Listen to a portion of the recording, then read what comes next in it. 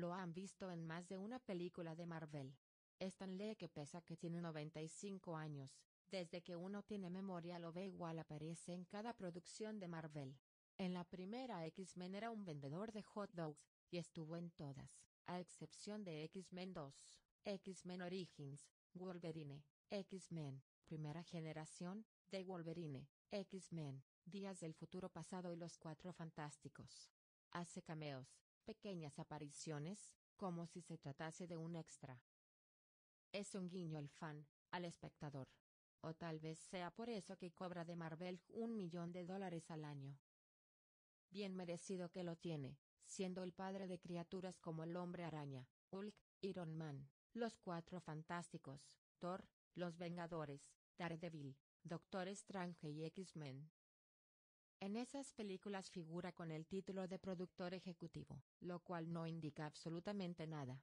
Lee no participa en las discusiones del tratamiento que tendrán sus personajes, sea en películas o series de televisión. Ya no. Tampoco asiste a todas las convenciones de cómics como solía hacer.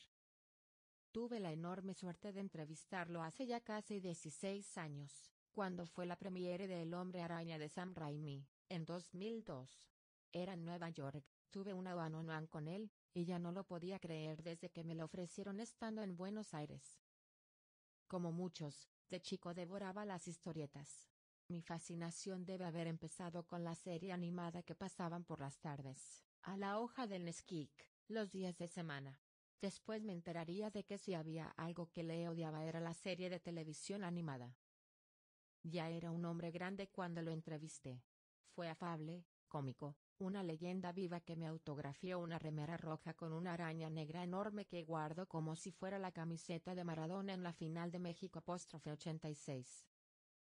Nacido Stanley, de ahí Stanley, Martin Liaver, su primer trabajo como guionista de Marvel, antes, Dimeli Comics, fueron dos carillas sobre el Capitán América.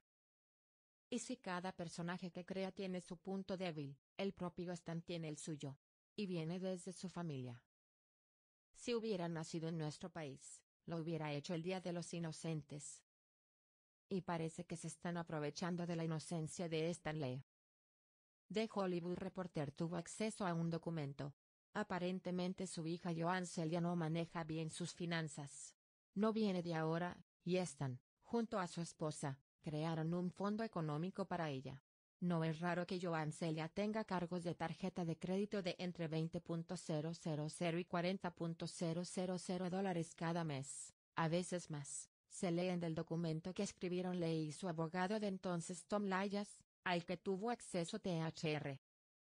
Usualmente ella me grita y llora histéricamente si es que no me rindo, decía Lee. Y mencionaba a tres hombres a quienes califica de malas intenciones que influenciarían a Joan Celia el abogado Kirkschenk, Gerardo Gerry Olivares y Keya Morgan.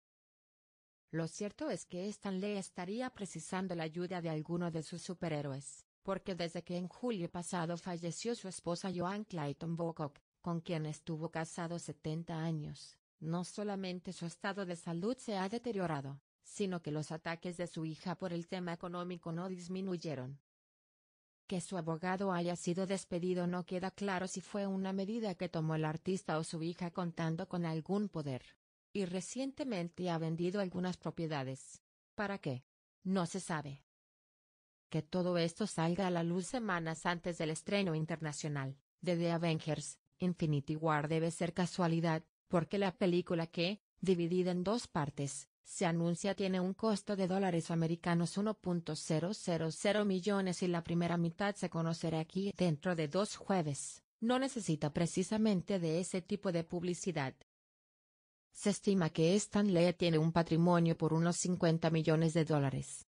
Pero lo que más vale lo tiene en el corazón y el recuerdo de sus fans alrededor del mundo. Y ese superpoder no se lo quita nadie.